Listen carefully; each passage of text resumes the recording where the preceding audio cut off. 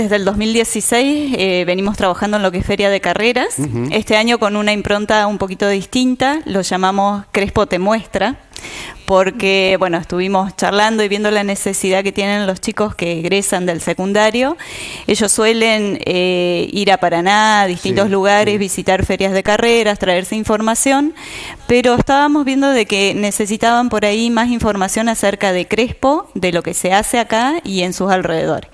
Eh, lamentablemente, bueno, por cuestiones económicas, muchos chicos no pueden seguir estudiando en, universidades privadas, eh, necesitan, bueno, trasladarse a otras ciudades y el costo es caro o alquilar, cosa que, también es caro. Entonces vimos que Crespo tiene muchísimas propuestas, desde la parte de profesorados que tenemos en Crespo, que tenemos en Seguí, en Puigari, en Ramírez. Eh, hay muchas propuestas de parte de la municipalidad con los centros de formación profesional, con muchísimas carreras. Entonces la idea es mostrarle todo lo que tienen al alcance sin tener que, movilizarse, viajar, y más que nada darle un, tinte más de, con una cuestión interactiva, de que tengan talleres, de que tengan charlas, de que puedan dialogar con estudiantes que hace poquito egresaron y empezaron una carrera y quizás no funcionó y tuvieron que, cambiar, y bueno, todas estas cuestiones que, que les surgen al estudiante o que por ahí les ayuda a decidirse. Este año se nos fue un poquito más lejos, pero es 16 de octubre, miércoles 16 de octubre. De 9 a 15.30 aproximadamente. Bien.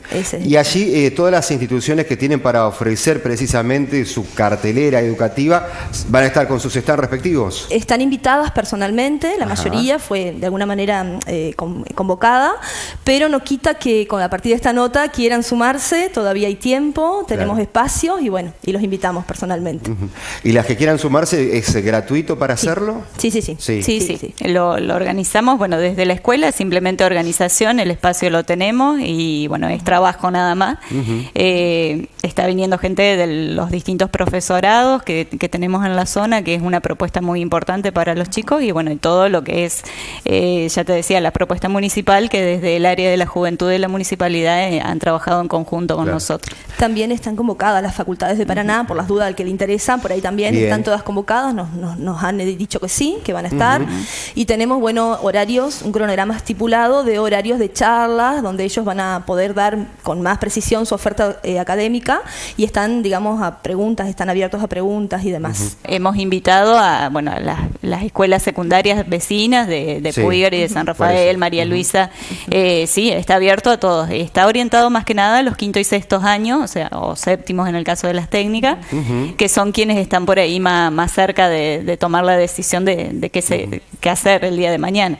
No quita también de los de escuelas de la noche también queremos convocarlos, porque bueno, eh, siempre hay un momento y hay un tiempo para, para seguir estudiando, no, no es que hay un momento determinado, no, no es solo a los 17 años, así que para cualquier persona, para cualquier persona es abierto a la comunidad.